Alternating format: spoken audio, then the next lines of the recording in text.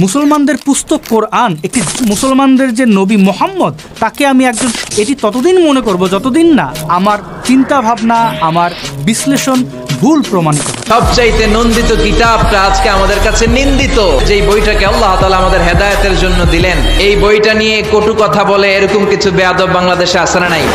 একটা দেখলাম ISS international space স্টেশনের ব্যাপারে আমার ব্যাখ্যা নিয়ে প্রশ্ন তুলছে এক পাতি নাস্তিক। নবী করিম সাল্লাল্লাহু আলাইহি ওয়াসাল্লামের পবিত্র চরিত্র নিয়ে এখন যে যার মতো করে ব্যাখ্যা করার প্রয়াস পেয়েছে আর কি।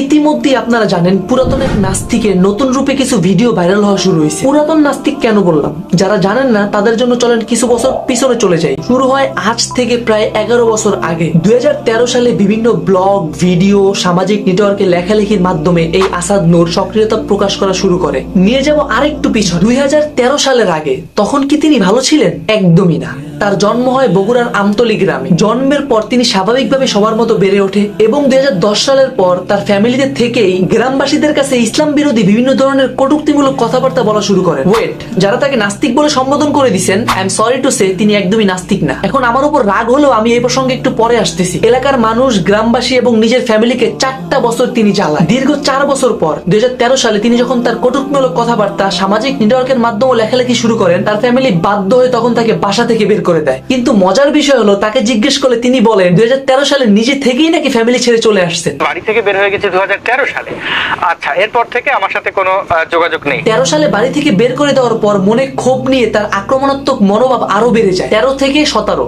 পাঁচ বছর। বাংলাদেশে থেকে বিভিন্ন ধরনের ইসলাম বিরোধী কথাবার্তা নবী রাসূল সাল্লাল্লাহু ইসলামকে নিয়ে অনেক ধরনের কটুক্তিমূলক কথাবার্তা তার অনলাইনের মাধ্যমে প্রচার করতে থাকে। এবং দুই সালে প্রথম আমাদের দেশের মুফতি মহাদ্দেশের একত্র আওয়াজের মাধ্যমে তার বিরুদ্ধে বড় করে প্রোটেস্ট করা শুরু হয়। এই প্রতিবাদের ভয়ে আসাদ নূর কোনো কুল কিনারা না পেয়ে সেই সতেরো সালের ডিসেম্বরের পঁচিশ তারিখ বাংলাদেশ থেকে পলানোর মতলব করে। কিন্তু আসাদ নূরের উপর আইন কর্তৃক রেড অ্যালার্ট জারি ছিল বিদায়। বাংলাদেশ থেকে পলাতক হওয়ার সময় হজরত শাহজালাল আন্তর্জাতিক বিমানবন্দরের ইমিগ্রেশন পুলিশ তাকে গ্রেফতার করে এবং কারাগারে পাঠানোর জন্য আবেদন করে। পরবর্তীকালে দুই সালে বাংলাদেশ আইনের ধারা অনুযায়ী আসাদ নূরকে আট মাস কারাগার বন্দী রাখে। দীর্ঘ আট মাস পর আঠারো সালের আগস্ট মাসে তিনি জামিনে মুক্তি পান এবং তার জামিনের পর কট্টরপন্থী ইসলামী গোষ্ঠী হেফাজতে ইসলামের মুখোমুখি হতে হন তাকে। যারা তাকে মৃত্যুদণ্ড মৃত্যুদণ্ড মৃত্যুদণ্ড মৃত্যুদণ্ড, যারা যারা তাকে মৃত্যুদণ্ড যারা তাকে মৃত্যুদণ্ড কার্যকর করার দাবি জানায়, পরে নূরকে মাদক পাচারের মামলায় গ্রেফতার করা হয়, যেটা তিনি কোর্ট হেয়ারিং এর সময় তার উপর আসা একদমই বানোয়ার একটা মামলা বলে দাবি করে পরবর্তীতে দুই সালে তার সমস্ত মামলা খারিজ করে তাকে শেষবারের মতো জামিন দেওয়া হয় এবং তিনি তার নিরাপত্তার ভয়ে উনিশ সালের ফেব্রুয়ারি মাসে বাংলাদেশ থেকে পালিয়ে যান। তিনি সেই তখন থেকেই বাংলাদেশের বাইরে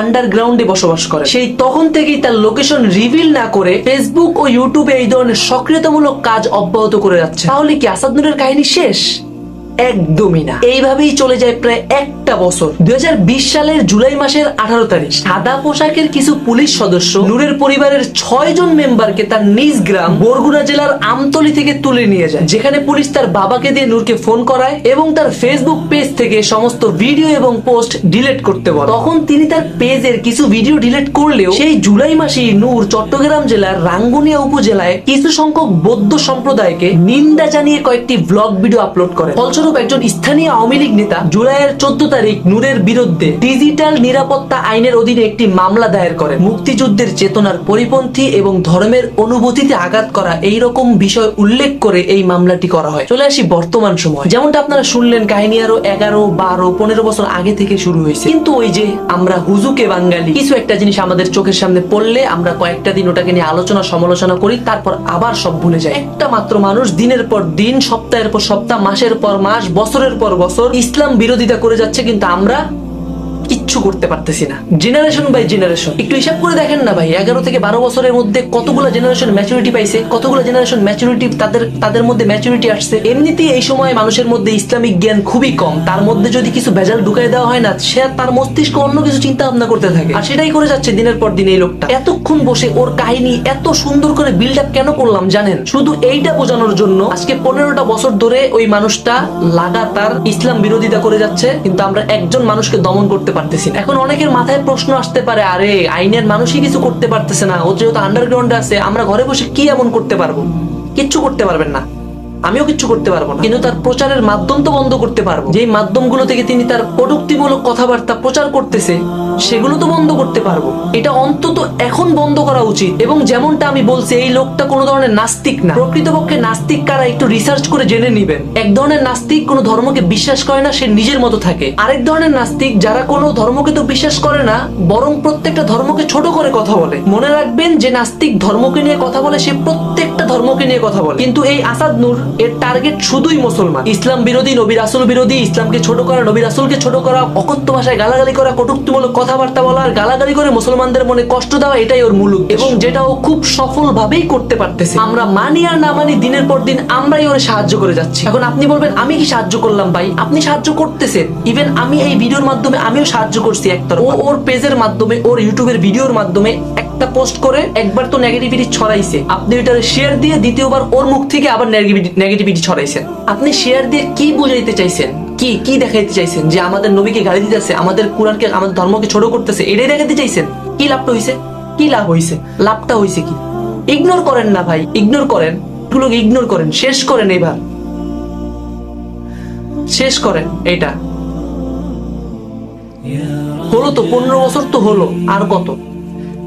আর কত? আমি চাইলে আর প্রত্যেকটা ভিডিওর প্রত্যেকটা লাইনে জবাব দিতে পারব। যদিও আমি ওই পরিমাণ জ্ঞানী না, কিন্তু আমি যতটুকু ভিডিও দেখছি, প্রত্যেকটা লাইনের জবাব আমার কাছে আছে। তাহলে একবার ভেবে দেখেন একজন বড় ইসলামী বক্তা বা আমাদের দেশের মুক্তি মহাদেশের সামনে যদিও পড়ে, প্রত্যেকটা কথা প্রত্যেকটা ওর প্রত্যেকটা ভাষ্যমতের সার্টিফিকেট প্রত্যেকটা ভাষ্যমতের যুক্তি কি তারা দিতে পারবে না? আমার সত্যি দুঃখ লাগে, আমার চ্যানেলটা খুবই ছোট হওয়ার কারণে আমি এত গভীরভাবে রিসার্চ করে ভিডিও বানানোর পরেও হয়তো অনেক মানুষের কাছে পৌঁছাতে পারব না। কোনো সমস্যা নাই। আপনারা যারা একশো জন এই ভিডিওটা দেখছেন, ভয় পেয়েন না, আমি ভিডিও শেয়ার করতে বলব না। ভিডিও শেয়ার করলে যেহেতু আমার লাভ হবে, সমস্যা নাই ভিডিও শেয়ার করার দরকার নেই। এই পয়েন্টগুলো নোট করে আপনার চেনা পরিচিত কোনো বড় ইউটিউবার কাছে দেন, তারা যাতে এই পয়েন্টগুলো তাদের ভিডিওর মধ্যে হাইলাইট করে, যাতে আরও বেশি মানুষের কাছে পৌঁছাতে পারে জিনিসটা। এন্ড ভাই, এটা শেষ করা দরকার। এটা আর বাড়ানো যাবে না, এটা বড় করা যাবে না। ওরে আমরা লাইমলাইটে আনতেছি, যার কারণে ও এত পরিমাণ কথা বলতেছে। ওর দরকারই এটা ফেসবুক ইউটিউব কখনো এটা দেখে না, ভিডিওর মধ্যে কি রিয়াক্ট আসছে। বেশি রিয়াক্ট করলেই ফেসবুক মনে করে ডিমান্ডিং ভিডিও উপরে নিয়ে যায়।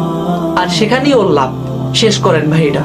এটা শেষ করেন। তাই আপনার কোনো গ্রুপে অন্য কোনো জায়গায় শেয়ার করার দরকার নেই। আপনার চেনা পরিচিত বড় ইউটিউবারের কাছে ভিডিওটা দেন। ভিডিওটা দিয়ে বলেন যে, ভাই, কিছু পয়েন্ট এখানে দেওয়া হয়েছে আপনার ভিডিওতে নোট করে নতুন করে একটা ভিডিও বানান এবং শেষ করেন এটা, এই লাস্ট এরপরে আর কোনো ভিডিও হবে না। কেন জানেন?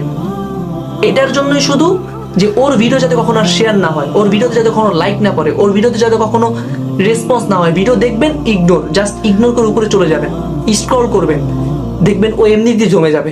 আর কোনো কথা বলবে না। এবং আপনাদের কাছে একটা রিকোয়েস্ট করব, এই পাগলটার ফেসবুক পেজ এবং ইউটিউবের মধ্যে গিয়ে আপনি একটা করে রিপোর্ট মারবেন। এখন আপনি বলতে আমার একটা রিপোর্টে কি হবে? ভাই, আপনার একটা রিপোর্টে অনেক কাজ হবে ভাই। আপনার একটা রিপোর্টে অনেক কাজ হবে। যান ইউটিউব চ্যানেল ফেসবুকের মধ্যে ফেসবুক পেজ প্রত্যেকটার মধ্যে একটা করে রিপোর্ট মারেন, ওর পেজ টেক ডাউন করে দেন। সবাই ভালো থাকবেন, সুস্থ থাকবেন ফ্যামিলির সাথে থাকবেন অবশ্য আমাকে টাইম দিবেন, এখন আমার যাইতে হবে। আসসালামু আলাইকুম।